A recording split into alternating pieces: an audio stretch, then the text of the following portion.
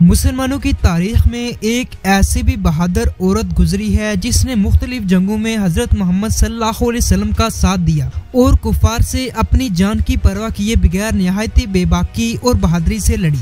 इस बहादुर औरत ने एक तरफ़ कई मौकों पर इस्लाम की खातर अपने आप को मुश्किल में डाल दिया तो दूसरी तरफ़ इसके बेटे ने इस्लाम की खातर अपनी जान तक दे दी। ये तारीखी औरत कान थी और इसने आखिर ऐसा क्या किया कि जिसका शुमार इस्लाम की तारीख में बहादुर औरतों में किया जाता है?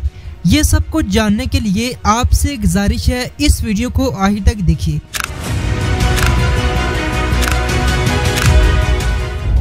नाजरीन इकरामी, जब नबी करीम सल्लल्लाहु ने इस्लाम की तबलीग का सिलसिला शुरू किया तो मदीना मनवरा में सबसे पहले तकरीबन तिहत्तर लोगों ने आपकी बैत, यानी बैत उकबा को कबूल किया। इन लोगों में ज़्यादातर मर्द हजरात शामिल थे, लेकिन साथ ही दो औरतें भी शामिल थी, जिनमें से एक औरत का नाम असमा बिनते उमरू था, जबकि दूसरी औरत का नाम नसीबा बिनते काब था। मगर आपकी कुनियत ज़्यादा मशहूर थी, जिसकी वजह से आपको उम्मे अमारा के नाम से पुकारा जाता था। नाजरीन, यही वो बहादुर औरत थी जिसने मुख्तलिफ़ जंगों में एक औरत होने के बावजूद मुसलमानों का साथ दिया। हज़रत उम्मे अमारा मदीना मनवरा में ही पैदा हुई थी और आपका तलक उस वक्त मदीना मनवरा में मौजूद मशहूर कबीले कबीले खजरज के खानदान नजार से था। नाजरीन, हज़रत उम्मे उमारा की ज़िंदगी के बारे में हमें तारीखी मालूम बहुत ही कम देखने को मिलती है, जो की नबी करीम सल्लल्लाहु अलैहि वसल्लम की अहादीस से साबित हूँ।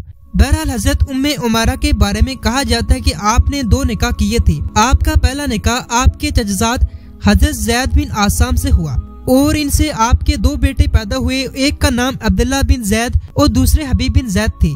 और ये दोनों नबी करीम सल्लल्लाहु अलैहि वसल्लम के साबाक्राम में शामिल थे। नाजरीन, हज़रत जैद की वफात के बाद आपका दूसरा निकाह हज़रत वजैया बिन उमरू से हुआ और इस निकाह से भी हज़रत उम्मे उमारा के दो बच्चे पैदा हुए, जिनमें से एक का नाम तमीम और दूसरे का नाम होला था। नाजरीन, हज़रत उम्मे अमारा ने इस्लाम कबूल करने के बाद खुद को मुकम्मल तौर पर इस्लाम के मुताबिक डाल दिया था, जिसकी वजह से आप हज़रत मोहम्मद सल्लल्लाहु अलैहि वसल्लम की बेहद ताजीम भी किया करती थी। एक अहादीस के मुताबिक कहा जाता है कि एक मरतबा हज़रत मोहम्मद सल्लल्लाहु अलैहि वसल्लम आपके घर में तशरीफ़ लाए तो आपने हज़रत मोहम्मद सल्लल्लाहु अलैहि वसल्लम के लिए खाना पेश किया, जिस पर नबी करीम सल्लल्लाहु अलैहि वसल्लम ने फरमाया, तुम भी खाओ। तो हज़रत उम्मे अमारा बोली, मैं रोज़े से हूँ। इसके बाद नबी करीम सल्लल्लाहु अलैहि वसल्लम ने खाना नोश फरमाया और साथ ही फरमाया, अगर रोजादार के पास कुछ खाया जाए तो गोया इस पर फरिश्ते दरूद भेजते हैं।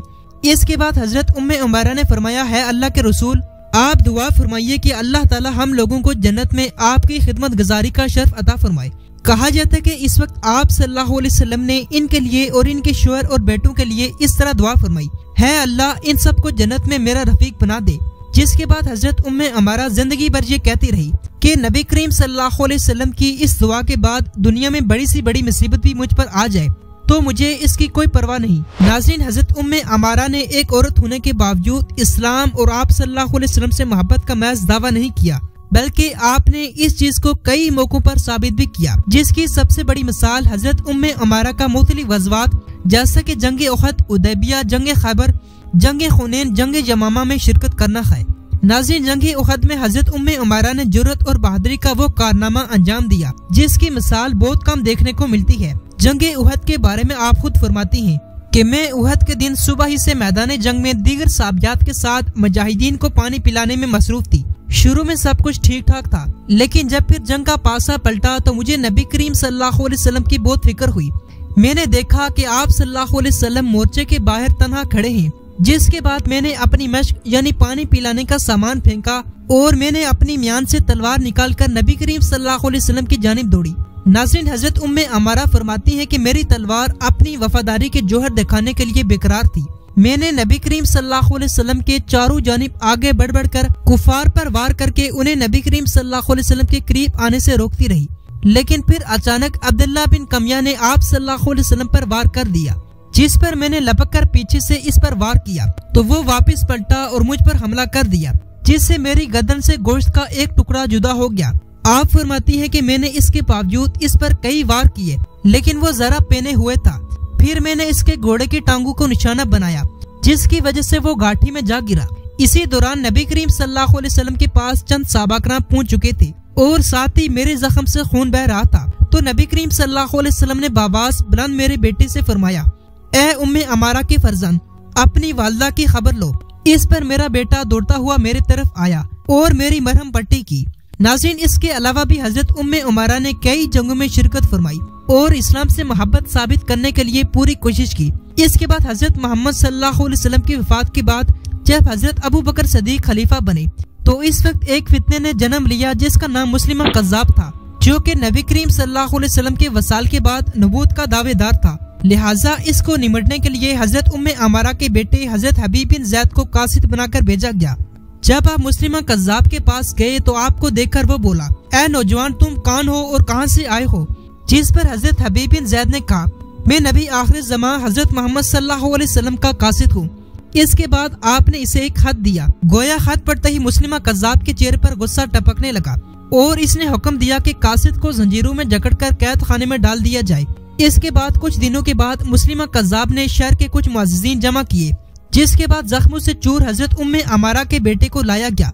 और फिर मुस्लिम कजाब बोला, ए नौजवान, क्या तुम हज़रत मोहम्मद सल्लल्लाहु को अल्लाह का नबी मानते हो? इस पर तशद से जख्मी हज़रत हबीब बिन जैद ने जवाब दिया हाँ हज़रत मोहम्मद सल्लल्लाहु अल्लाह के आखिरी नबी और रसूल हैं। मुसलमा कज्जाब ने दूसरा सवाल किया, क्या तुम गवाही देते हो कि मैं भी अल्लाह का नबी हूँ? जिस पर हज़रत हबीब बिन जैद ने जवाब दिया मेरे कान तुम्हारी बात सुनने से कासर हैं। नासिन कहा जाता है कि इस जवाब ने मुस्लिम कजाब को आग बगोला कर दिया। इसने जल्लाद को हुक्म दिया कि इसका एक बाजू काट दिया जाए, जिस पर हज़रत उम्मे अमारा के बेटे का बाजू काट दिया गया। इसके बाद फिर मुस्लिम कजाब ने अपना सवाल दोहराया। तो हज़रत हबीब बिन जैद ने वही जवाब दिया।